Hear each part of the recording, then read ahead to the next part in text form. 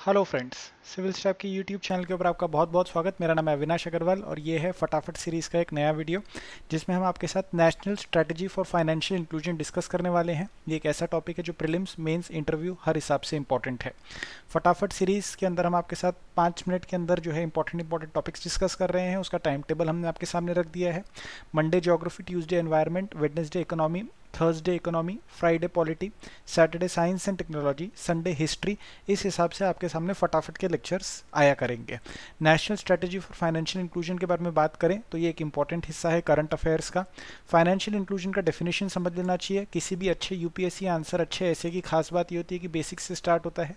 उसी प्रकार से हमारा लेक्चर भी बेसिक से स्टार्ट हो रहा है। फाइनेंशियल इंक्लूजन का मतलब ये होता है कि आपको access to financial services available है। यदि आपको क्रेडिट यानी कि लोन यानी कि पैसों की रिक्वायरमेंट है तो वो आपको जितना चाहिए उतना मिल जाए, जितने समय पे चाहिए, जब समय पे चाहिए, तब आपको मिल जाए। खासकर वलनरेबल वीकर और लो इनकम ग्रुप्स को जो है अफोर्डेबल तरीके से यदि क्रेडिट सही समय पे, सही मात्रा के अंदर मिल जाता है तो उसी को हम कहेंगे financial inclusion national strategy for financial inclusion 2019-2024 एक इंपॉर्टेंट स्ट्रेटजी है, जो कि रिज़र्व बैंक ऑफ़ इंडिया द्वारा रिलीज़ करी गई है. रिज़र्व बैंक ऑफ़ इंडिया के अंदर फाइनेंशियल इंक्लूजन एडवाइजरी कमेटी है, उसी कमेटी ने इस स्ट्रैटेजी को डेवलप करा है. ये स्ट्रैटेजी का एजेंडा है ऑब्वियसली बात है फाइनेंशियल इंक्लूजन करवाना, जिसका मतलब है कि अफोर्डेबल मैनर के अंदर राइट सर्विसेज़ अवेलेबल रहनी चाहिए आपके पास आपके पास फाइनेंशियल लिटरेसी अवेलेबल रहनी चाहिए कंज्यूमर प्रोटेक्शन अवेलेबल रहना चाहिए, ताकि लोग बाग को जो है भरोसा दिलवाया जा सके, हमारे फाइनेंशियल सिस्टम के अंदर उनको पार्टिसिपेंट बनाया जा सके, उनका वेलफेयर के लिए काम करा जा सके राइट देख लीजिए, हमने प्रधानमंत्री जनधन योजना को भी उसी हिसाब से करा था। टैगलाइन से ही समझ में आ जाता है, मेरा खाता भाग्य विदाता आप सोचेंगे what is the importance of financial inclusion it is very very important it is considered to be a key driver for economic growth poverty alleviation it can help in job creation it can increase investment it can reduce vulnerability how यदि मुझे कोई भी उद्योग लगाना है, कोई industry लगानी कोई छोटा मोटा कैसा भी काम शुरू करना है, चाहे बड़ा काम शुरू करना हो या कोई भी काम शुरू करना हो, मुझे कैपिटल की रिक्वायरमेंट रहती है, उसके माध्यम माध्यम से मैं काम कर सकता हूँ, मैं अन्य लोगों को भी काम दे सकता हूँ। मुझे कैपिटल की रिक्वायरमेंट खुद के एडुकेशन खुद के स्किल डेवलपमेंट खुद के न्यूट्रिशन हर चीज़ के लिए मुझे कैपिटल की रिक्वायरमेंट रहती है। फाइनेंशियल इंक्लूजन यदि मेरा होता है तो मुझे हर चीज़ के अंदर मदद मिल सकती है। इंडिविजुअल्स को या तो खुद के क्रेडिट के ऊपर रिलाई खुद के पैसों पे रिलाई करना पड़ता है या इनफॉर्मल सोर्सेज ऑफ़ क्रेडिट पे रिलाई करना पड़ता है, उसकी वजह से जो या तो क्रेडिट उनके पास कम अवेलेबल रहता है या कॉस्टली अवेलेबल रहता है या फंड्स अवेलेबल नहीं रहते हैं आइदर विच वेज जो है हमारी इकोनॉमी को उसकी वजह से नुकसान पहुँचता है, क्योंकि जो काम वो कर सकते हैं वो इसलिए नहीं कर पा रहे हैं क्योंकि उनके पास क्रेडिट अवेलेबल नहीं है। जो हमारा सस्टेनेबल डेवलपमेंट गोल्स 2030 का एजेंडा है, उसको भी यदि ध्यान में रखें तो फाइनेंशियल इंक्लूजन बहुत ज़्यादा इंपॉर्टेंट माना गया है।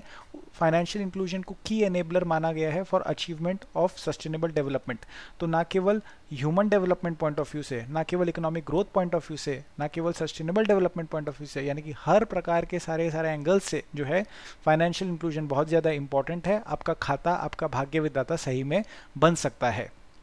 अब क्यों फाइनेंशियल इंक्लूजन नहीं हो रहा है? इसके ऊपर हम नज़र डालते हैं, क्या कारण है कि लोग जो है फाइनेंशियल इंक्लूजन का फ़ायदा नहीं उठा पा रहे हैं? इनवॉलेंटरीली तरीके से भी वो अगर एक्सक्लूड हो रहे हैं तो क्यों एक्सक्लूड होने लग रहे हैं सिस्टम के अंदर से? सबसे बड़ी बात यह है कि मैं बैंक तब जाऊँगा जब मेरे पास जमा करने का कुछ होगा, जमा खाते में जमा करूँगा क्या? सरप्लस इनकम ना होने की वजह से लोग बैंक नहीं जाते हैं। तो एक एजेंडा हमारा ये भी है फाइनेंशियल इंक्लूजन करवाना है तो लोगों की इनकम बढ़वाना है ताकि वो बैंक के अंदर जा सके। ट्रस्ट नहीं करते हैं लोग सिस्टम के अंदर कम्युनिकेशन साफ़ करनी है, लोगों का विश्वास हमारे को जीतना है, ताकि कोई भी प्रकार से जो ऐसा ना लग जाए लोगों को कि एक बार पैसा डाला तो वापस से वापस नहीं आने वाला है। सूटेबल कस्टमर्स रिक्वायरमेंट जो होती है, उसके हिसाब से जो है खाते आपके बनने चाहिए, उसके हिसाब से सर्विसेज़ होनी चाहिए। ट्रांजैक्शन कॉस्ट हाई होने की वजह से लोग बाग जो है बैंकों के अंदर जो है खाता नहीं खोलते हैं। डॉक्यूमेंट्स ना होने की वजह से खाता नहीं खोल पाते हैं। रिमोटनेस ऑफ़ सर्विस प्रोवाइडर होने की वजह से जो है दूर सर्विस प्रोवाइडर होने की वजह से खाता नहीं खोल पाता है। फाइनेंशियल इंक्लूजन नहीं हो पाता है। अवेयरनेस ना होने की वजह से भी दिक्कत होती है। पुअर क्वालिटी सर्विसेज़ यदि मिलती है, जिसकी वजह से लोगों का विश्वास अगर डगमगा जाता है, उन्हें धोखा हो जाता है या उन्हें डिससेटिस्फैक्शन रहता है, उसकी वजह से भी फाइनेंशियल इंक्लूजन के अंदर बाधा आ सकती है। इन्हीं सारी चीज़ों को हमारे को टैकल करना है। यूनिवर्सल एक्सेस देना है। विद इन फाइव किलोमीटर पास जो है फाइनेंशियल टच पॉइंट होना चाहिए जो सर्विस प्रोवाइड कर सके राइट बेसिक सर्विसेज़ हमें सबको मुहैया करवानी है लाइवलीहुड स्किल्स हमारे को सबको देनी है ताकि इनकम भी हम उनकी जनरेट करवा सके फाइनेंशियल लिटरेसी भी हम उन्हें प्रदान कर सके। कंज्यूमर प्रोटेक्शन ग्रीवांस रिड्रेसल के ऊपर हमारे को काम करना चाहिए और इफ़ेक्टिव कोऑर्डिनेशन रहना चाहिए between various regulators and agencies तब जाके अच्छा काम हो सकता है। सारे सारे की रिकमेंडेशन आपके सामने दे दिए हैं। डिस्टेंस की बात कर ली है, प्रधानमंत्री जनधन योजना की बात कर ली है। पब्लिक क्रेडिट रजिस्ट्री बनाने की बात कर ली है। फाइनेंशियल सर्विसेज़ को स्ट्रेंथन करने की बात कर लिए डिजिटल वाली, ताकि लेस कैश सोसाइटी की तरफ़ जो है माइग्रेट करा जा सके। साथ ही साथ जो नए एंट्रेंट्स हैं, उन्हें इन्फॉर्मेशन प्रोवाइड करी जानी चाहिए कि सरकार के लाइवलीहुड प्रोग्राम्स क्या है, उन्हें खाता खोलने का भी जो है इन्फॉर्मेशन प्रोवाइड करी जानी चाहिए। हमारे को काम कैसे करना है, आप समझ चुके हैं कि जो अनसर्व्ड हैं वो क्यों अनसर्व्ड हैं। उनके लिए अगर हमें सर्विस प्रोवाइड करनी है तो हमारे को किन पैरामीटर्स को ध्यान में रखते हुए सर्विस को प्रोवाइड करना है राइट किन प्रकार की सर्विसेज़ को प्रोवाइड करना है, ये सारी चीज़ें मैंने आपको अभी समझा दी है। अब बारी आ गई है आपको एक अच्छा क्वेश्चन कंसिडर करने की। क्वेश्चन है फाइनेंशियल इंक्लूजन के ऊपर, जिसमें आपको तीन स्टेटमेंट दिए गए हैं, आपको बताना है कौन से स्टेटमेंट्स करेक्ट हैं। Financial inclusion is consider to be a key enabler for achievement of U N S D G twenty thirty remoteness of service provider is one of the key reason for lack of financial inclusion in India R B I has release national strategy for financial inclusion for India twenty nineteen twenty twenty four to guide and set benchmarks for financial inclusion efforts in India जो भी statements correct हैं, उसका आप लोग पक्का से comment करके बताएँगे और सारी सारी चीज़ों का अंदर आपका एक्सपीरियंस कैसा रहा है वो भी बताएँगे। सिविल स्टैप के पूरे कोर्सेज की जानकारी आपको हमारे जो है डिस्क्रिप्शन सेक्शन के अंदर मिलेगी वीडियो की।